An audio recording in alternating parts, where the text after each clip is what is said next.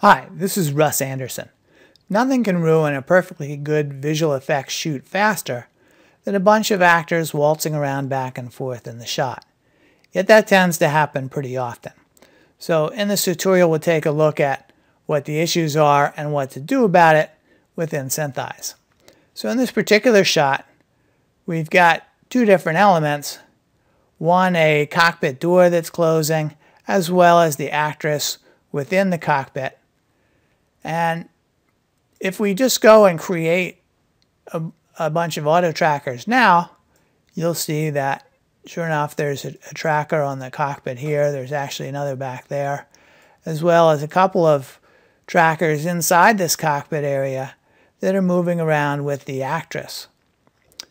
So when you have a camera track or an object track, all of the trackers have to be rigidly connected together in 3D. They all have to be attached to the same physical thing, and none of them can move separately in 3D. That's one of the fundamental requirements for being able to do this magic of figuring out where everything went. So in a shot like this, we have to identify spots where things are moving independently and remove them. Now in a simple enough shot, we can just go and, and visually find them and hit the delete key to take them out. And and this, you know, we might need to only take out three or four or something, and we'd be able to have something that we could get a good solve for. But SynthEyes does offer a more systematic way to address this, which is using a rotospline masking capability, and I'd like to show that here. So I'm just going to select and create a big rectangular spline to mask out the area that I don't want to have trackers inside. So I just set that up at the beginning of the shot. Now down here somewhere to the end, we'll go and reposition things. I can kind of move the spline around as a unit or I can go and adjust the vertices themselves. And the key point is that I'm just setting up a very rough mask to say where I don't want to create any trackers. So maybe in this particular case, I'll move this one out a little further so you don't have any corner. So I've got a, little matte mask set up. And if you look over in the roto control panel, you'll see that this newly created spline is set up as a garbage spline. So any trackers that, that might get created in here will just be sent to the garbage instead. But there's also another spline that's set up that encloses the entire image. So the way this works is, well, if any potential tracker is not inside the inner spline and it is inside of this one, it's going to get assigned to camera 1. So you can go and manipulate the splines to control what goes, you know, what gets assigned to what. If I wanted to do tracking only within this spline, I would go and take this spline and change it to be on camera 1. I would delete this overall enclosing spline altogether. But having gotten this set up, now I can go run the tracker again and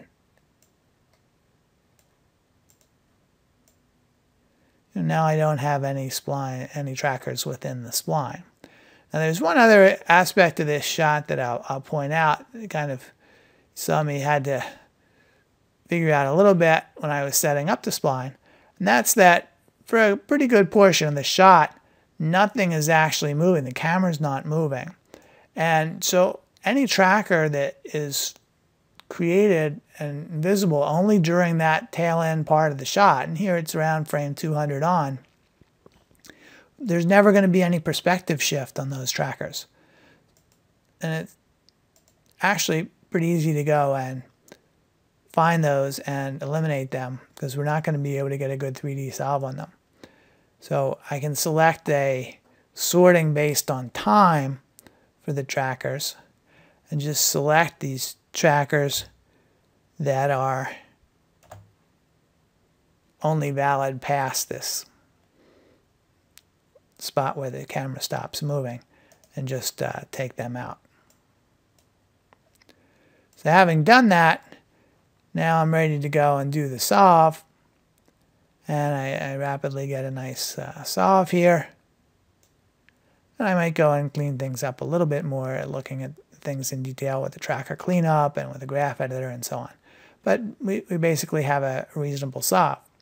Now, I just give kind of a, a hint on this kind of a shot that if in fact what we were planning to do is build the rest of the spacecraft as a 3D environment around this uh, cockpit area, we'd probably want to add a couple of supervised trackers to known points that we could locate on our 3D model. So that if we have a whole bunch of shots like this, we can go and repeatedly and repeatably set up the coordinate system the same way in each of these shots so that we can just basically drop the whole 3D model for the rest of the vehicle into the shot the same way just by setting up the coordinate system the same way each time. And like I said, to do that, you'd probably pick out a couple of points and go and set up supervised tracks for them in each of the uh, shots that you need to handle. So I hope that gives you an idea of uh, some things to do. Take care.